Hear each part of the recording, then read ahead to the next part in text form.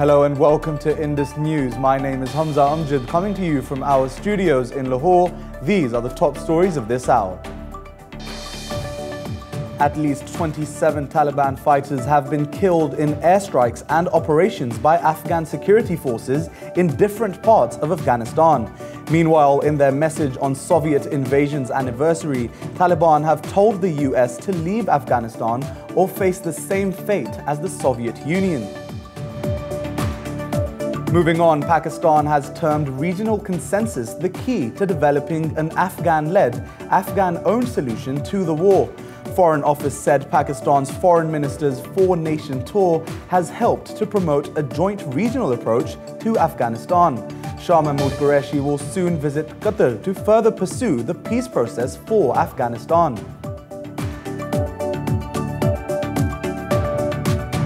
Meanwhile, President Donald Trump has said the US will no longer provide military protection to countries which do not pay for it. Talking to US troops in Iraq, Trump said he overruled generals in deciding to withdraw forces from Syria. He defended his decision to end the US role as global policeman, saying it carried an unfair burden. And Saudi Arabia's King Salman has reshuffled his cabinet, ordering formation of a new political and security council.